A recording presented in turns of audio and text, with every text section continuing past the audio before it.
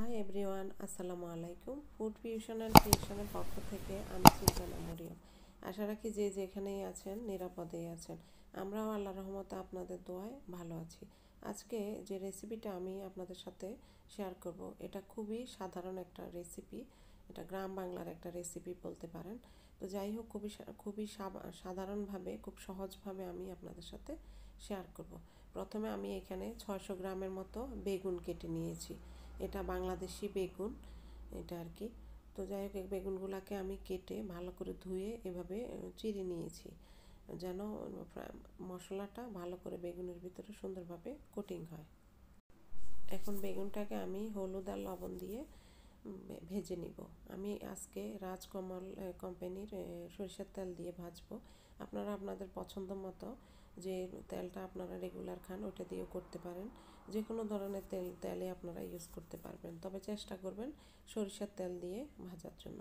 আমি রাজকমল রাজকমল কোম্পানির সরিষার তেল দিয়ে আজকে ভাজতেছি। তো যাই হোক, আমি আমার বেগুনগুলোকে সবগুলা বেগুন ভেজে নিব মিডিয়াম আছে। এটা আর কি। এখানে আমি মশলা বলতে হলুদ এবং লবণই শুধু দিয়েছি।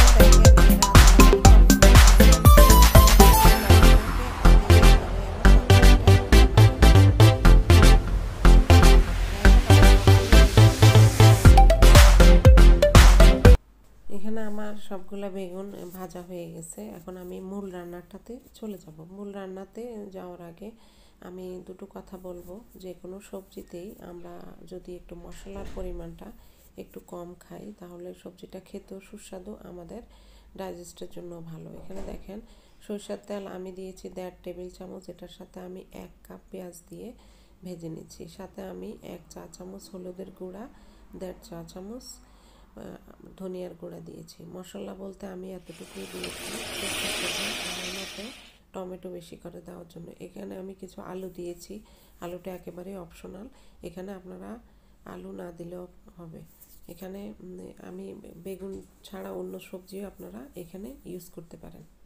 তারপর এটাকে আমি এইট থেকে নাইন মিনিটের মতো আমি এটাকে ভালো করে ভেজে এক কাপের মতো পানি দিয়েছি। পানি দিয়ে আমি কভার করে রেখে আরও পাঁচ মিনিটের মতো অপেক্ষা করেছি। এরপর আমার ভাজা বেগুনটা আমি দিয়ে দিয়েছি। বেগুনটা ভাজার পরে, ভাজা বেগুনটা দেওয়ার পরে খুব বেশি সময় আমি নেই নেই, এখানে চার মিনিটের মতো আমি অপেক্ষা করেছি। আপনারা এখানে যে যে কোনো ধরনের চিংড়ি মাছ, যে কোনো ধরনের মাছ দিতে পারেন, তাহলে এটা একটা মাছের তরকারি হয়ে যাবে। তো যাই হোক, এখানে বেগুন ছাড়া অন্য সবজি দেওয়া যাবে। আপনারা ইচ্ছা করলে আলুটাও এখানে অ্যাভয়েড করতে পারেন। আমি আমার মতো করে এখানে রান্নাটা করেছি। মশলার পরিমাণটা চেষ্টা করেছি বরাবরের মতোই কম দেওয়ার জন্য। যদি ভিডিওটা ভালো লাগে একটা লাইক দেবেন ফ্যামিলি অ্যান্ড ফ্রেন্ডসের সাথে শেয়ার করবেন। আমি সুলতানা মরিয়াম আবার কোনো নতুন রেসিপি নিয়ে হাজির হয়ে যাব। ততক্ষণ পর্যন্ত সবাই ভালো থাকবেন। আল্লাহ হাফেজ।